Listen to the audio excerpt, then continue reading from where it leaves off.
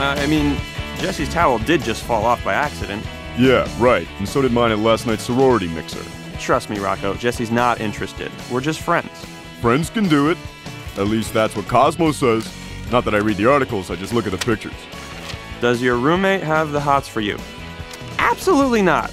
Take it. I got plenty more where that came from. Um, do you think, well, would you go out with me tonight, then afterwards we can come back here and get into the same bed? Sorry, but I'm supposed to work on a screenplay with Brody and Kruger tonight. Oh, I see. Brody and Kruger. Nitz, were you just asking me out? That would be weird, huh? Well. No, no, I wasn't. Alright. Later.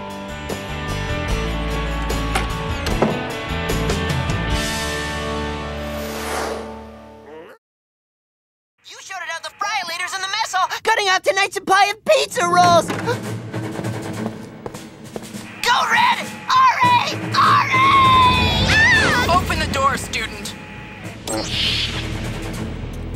Hmm. 30 plugs going into one socket, broken windows, severe water damage, and move, please! And an illegal hot plate! Student, let me make myself clear. If you do not clean up this room, disconnect your machines of mass destruction, and get rid of that hot plate, you will be relocated to Walden Pond Hall. The one with only one outlet per. Per floor! You have 12 hours. Oh, and by the way, I had a little chat with the dorm electrician. You're cut off for the night. Good evening, student.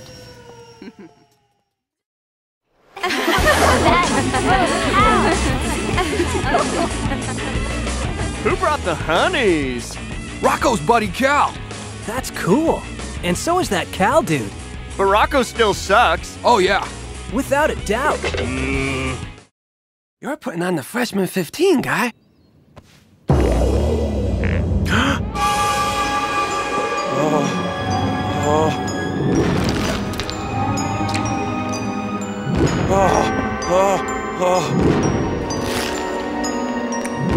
Ah,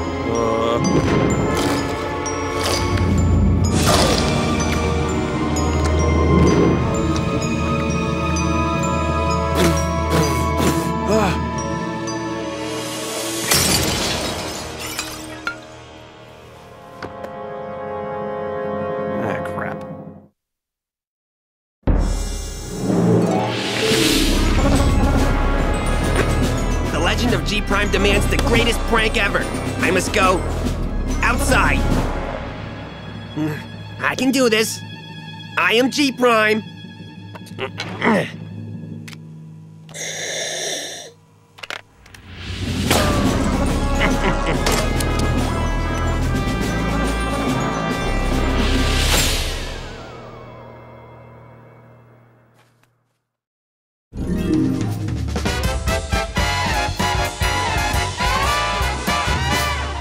Sober! Mr. Rocco, here's that giant bottle of scotch the president wanted you to drink. Mm-mm-mm-mm. Sober!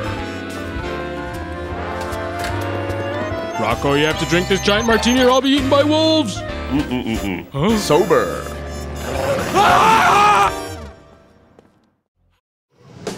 Hey, freak.